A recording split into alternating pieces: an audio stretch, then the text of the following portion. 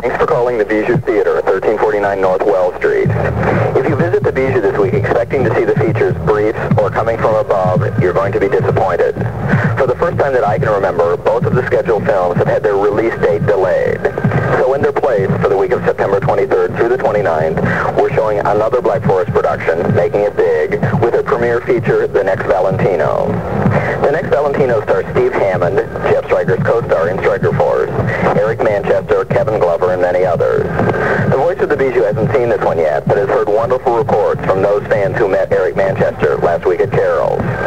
Despite the film's title, this one isn't a period piece about early Hollywood. Instead, it's about the making of the next big porn star. Co-feature Making It Big is subtitled The Long Hard Road to the Top. It's the story of a talented young dancer and the travails he encounters in his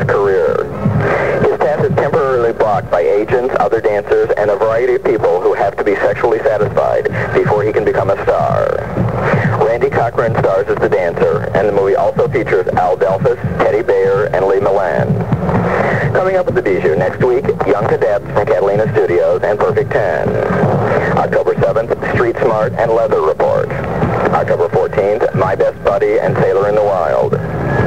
Stop by Bijou Video Sales this week and take today's adventures home with you. Sail Bright is part of Cheap Thrills, our semi-annual store-wide sale.